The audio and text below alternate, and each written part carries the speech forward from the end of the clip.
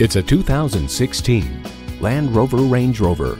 The Range Rover changed the way the world went off-road, and it's come to represent the very pinnacle of refinement and craftsmanship.